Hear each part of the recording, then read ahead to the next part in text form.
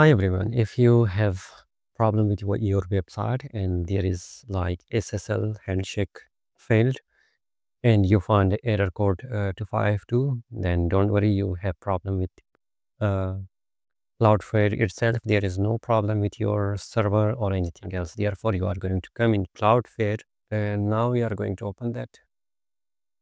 And I'm going to log into this. Once you are you have logged in, you can see that uh, there is my website. I'm going to click on that website. And uh, then you are going to come to uh, ssl and tls and uh, here you have like config or configure. You are going to check that one.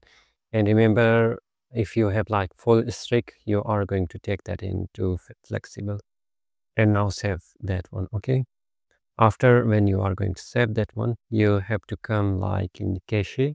Then you are going to click on configuration.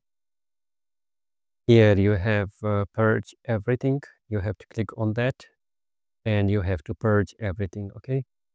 Now let it be it takes few seconds to just do everything. Uh, you have to come in your website and click and then you are going to see that it is working. Again if it doesn't work then you have to do one more thing like you have to come in overview and then you have here uh, the development mode. You have to turn on first and check your website and then turn off the development mode. I hope it was your problem. If you have any question just write it in the comment box below. And uh, if you have not subscribed yet subscribe for more amazing videos. Thank you everyone